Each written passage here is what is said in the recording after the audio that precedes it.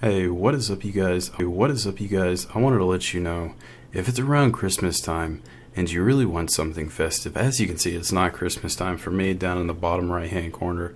It is uh, February, or if it's the winter time, or if you just like snow, I guess, then you can definitely download Rainmeter and this one skin that I have, and it is called Icy Storm, and then it's got Snow V2 and then all you have to do is enable that. Then you have a snow feature on your desktop and it's really simple and easy to use. So if you do want it all you have to do is download Rainmeter and download that.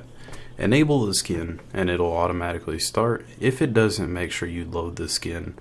And once you've loaded the skin then you've got snow on your desktop. Now if you do want to see a video of my other Rainmeter skins that I have on my second monitor I can do so. Uh, it's completely up to you guys if you actually do want to see that. So yeah, I hope you have a great day and a great night.